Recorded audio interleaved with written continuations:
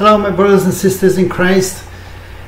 Today is Saturday, 19th of November 2022, and I bring a message of exhortation to you, starting with the reading of a passage of scripture from Mark, verses 14 to 29. When they came to the other disciples, they saw a large crowd around them and the teachers of the law arguing with them. As soon as all the people saw Jesus, they were overwhelmed with wonder and ran to greet him. What are you arguing with them about? Jesus asked. A man in the crowd answered, Teacher, I brought you my son who is possessed by a spirit that has robbed him of speech. Whenever it sees him, it throws him to the ground. He foams at the mouth, gnashes his teeth, and becomes rigid. I asked your disciples to drive out the spirit, but they could not. You unbelieving generation, Jesus replied, how long shall I stay with you? How long shall I put up with you? Bring the boy to me. So they brought him when the spirit saw Jesus, it immediately threw the boy into a convulsion. He fell to the ground and rolled around, foaming at the mouth. Jesus asked the boy's father, How long has it been like this? From childhood, he answered. It has often thrown him into fire or water to kill him. But if you can do anything, take pity on us and help us. If you can, Jesus answered,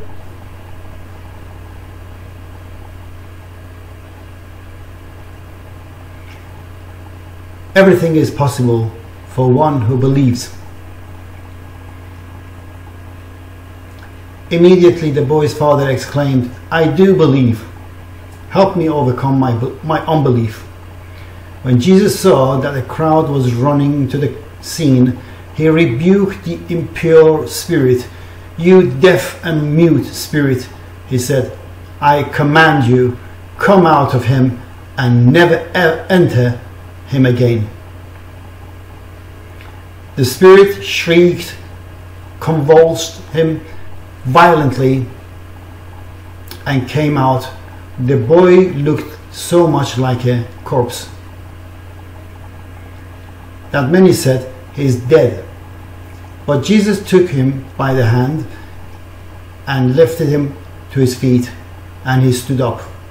After Jesus had gone indoors, his disciples asked him privately, Why couldn't we drive it out? He replied, This kind come out only by praying.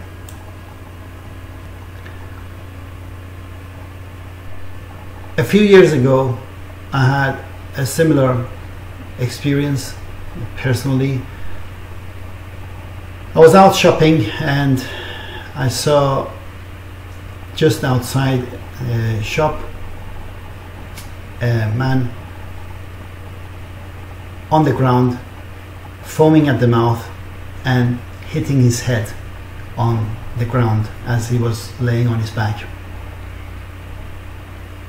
Um, his friends, I, I, I believe there were some of his family members there as well, and some of his friends uh, were scared to even get close to him.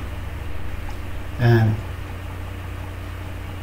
for a few seconds, I just thought, uh, I have to discern uh, this situation first before I do anything. And so I quickly had a kind of connection with the Lord and, and had my little prayer and and believed that I had to go and pray for the man. I went near, sat there, and put my hand on his neck as he was beating his head against the ground. And I didn't shout, I didn't pray loud, I didn't say anything, um, you know, spectacular. Just commanded the spirit out of him and never enter him again. In Jesus' name, quietly, he heard me. He stopped foaming at the mouth. He stopped hitting his head on the ground. He opened his eyes. He saw me. I helped him up. He stood up and then his friends and uh, family members came to him and uh, a car came and they were taking him away. And he was so overjoyed himself that man uh, he was taking me with him. He was saying you have to come because I felt like he thought uh, that convulsion will seize him again, will come back to him again. But I said to him, I didn't do anything. Jesus healed you. And you won't have this again. As he was going into the car, he kept looking at me and he was asking me to go, but I said, You don't need me. Jesus is with you. And, and that was it. Uh, today, the medicine industry has various names for these kind of things. Um,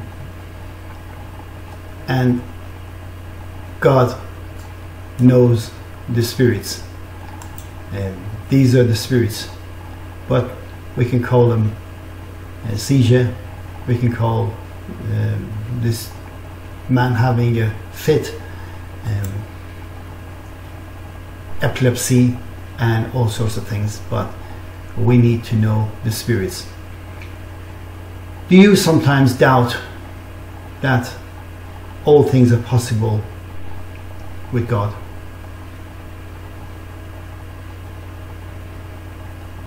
It is likely most of us, at one point at least in our life, got to the point that we have that doubt.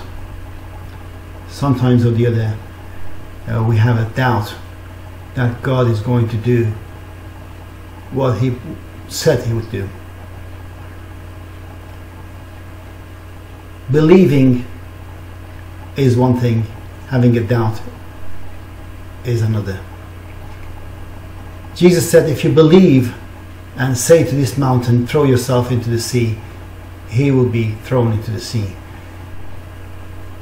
And don't doubt. If you believe and don't doubt, he said. Now, believing is something that most of us can do, but having no doubt at the same time is the difficult part of it. Because we rely on our human standards, human reasonings, and that's where faith falters. That's where doubt creeps in. Because we Uh, doubt that the Lord will do what He said He will do. And don't forget, He will do what He said He will do. Not what you wish He would do, not what you dream He would do, not what you want Him to do. Faith is not something to coerce God into doing something. Faith is simply believing He will do what He said He will do, trusting Him. And as we grow in the knowledge of God, we trust Him more.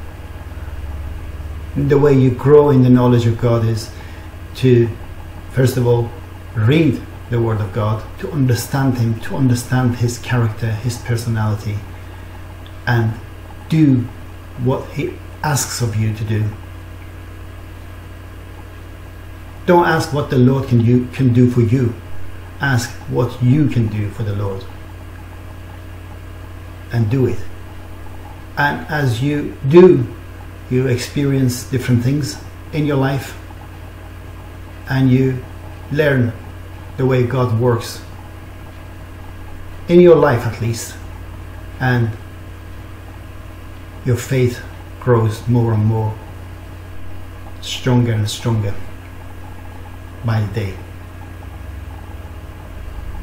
I hope this message has been encouraging and strengthening your faith. Till Tuesday, God bless you and goodbye.